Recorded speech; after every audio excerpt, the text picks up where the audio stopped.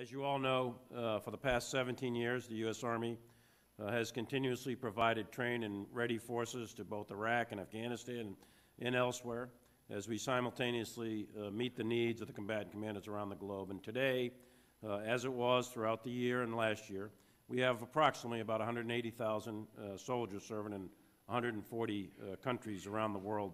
and that represents, broadly speaking, about uh, 50 to 60 percent of combatant command demand uh, comes to the Army to support.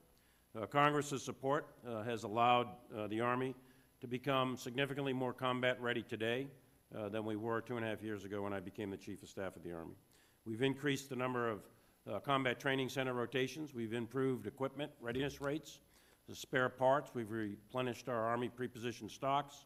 Uh, we've increased our personnel and strength and started to fill some of the holes in our operating units.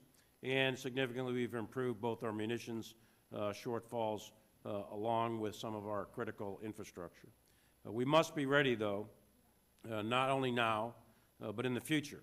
And we have to maintain a decisive overmatch uh, to achieve victory, as the Secretary said, against any adversary, anytime, anywhere. the tyranny of the present has consumed us for the past 16 years while our competitive advantage against peer threats has eroded. Uh, and advances by our adversaries are very real. Uh, this is not a classified hearing, but I'll be happy to uh, illuminate those advances in a classified hearing, specifically with respect to Russia and China, as they continue to assert regional influence in their development of advanced weapons and technology. Likewise, Iran is attempting to expand its regional influence, and as we all saw last week in a recent positive turn of events regarding North Korea, it's very welcome, and, and I remain cautiously optimistic, as Secretary of Defense Mattis said. Uh, but we, the Army, we must remain ready.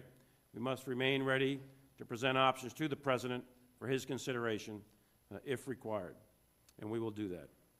The current battlefield is already lethal, and the future battlefield is likely to prove more lethal than anything we have ever recently experienced. So the time is now for the Army to modernize, uh, to both stay ready today and to build the future force of our nation. That's going to require a modern Army. The Army needs predictable, adequate, sustained, and timely funding, and you know that, and you all agree with that. The Army's FY19 budget request reflects our priorities to grow and maintain a highly capable force today, to modernize and build the future force, to take proper care of our soldiers, family members, and civilians, and all the while being good stewards of the generous money of taxpayer money that the Congress has given us. We recognize the American taxpayer entrusts us with a significant amount of money to meet these demands, and we will be diligent stewards of our resources, and we will enforce accountability to make effective use of every single dollar.